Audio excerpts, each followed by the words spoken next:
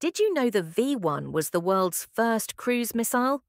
The V 1 flying bomb, also known as the buzz bomb or doodlebug, was a revolutionary weapon used by Nazi Germany during World War II.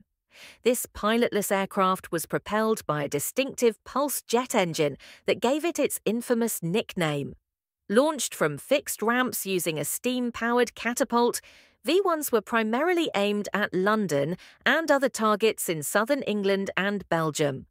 Although its guidance system was rudimentary, relying on gyroscopes and a basic autopilot, the V1's psychological impact was substantial, instilling fear and uncertainty in the civilian population. Despite its limited range and the development of effective countermeasures by Allied forces, over 10,000 V1s were launched during the war, causing significant casualties and damage. The V1 paved the way for the more advanced V2 rocket and remains a significant landmark in the history of missile technology. What does the V stand for in V1?